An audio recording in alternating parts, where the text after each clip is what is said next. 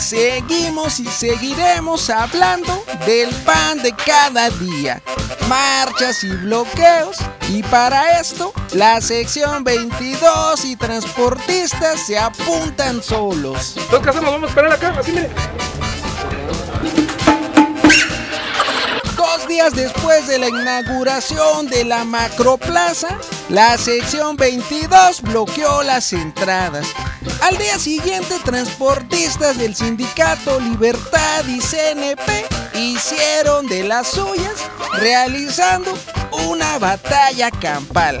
Todo por la disputa de cajones por el servicio de taxis foráneos. ¡Qué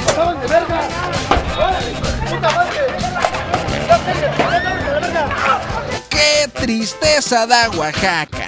Sin alguien que ponga orden, una policía que lo único que hace es pasearse con los caninos, conciertos de música, desfiles y uno que otro intento de profesionalización.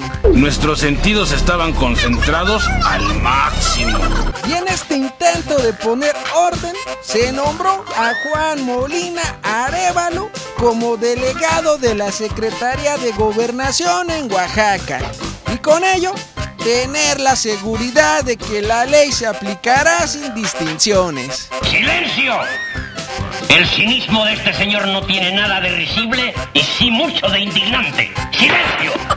Los que de plano se la están viendo complicadas son los diputados de la sexagésima segunda legislatura del estado de Oaxaca, en donde además dicen las malas lenguas que se han enviado 100 millones de pesos para aprobar la reforma federal. Y defender sus intereses como si fueran los míos propios. Dicen los priistas que no es desinterés, sino simplemente no son mayoría.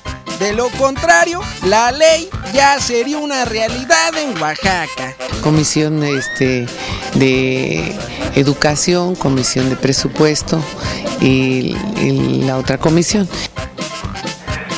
Ahí te va, ahí te va. Mientras se define el futuro de Oaxaca, estos políticos simulan hacer su tarea cuando en la entidad ya no hay más que discutir.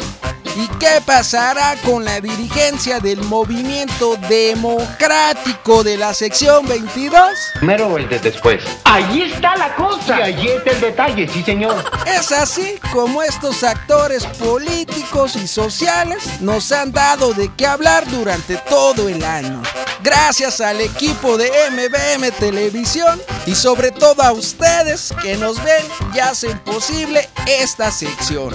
Y recuerden, con los ingredientes necesarios, una buena machacada en el molcajete se queda y el tejolote lo presenta para MBM Televisión.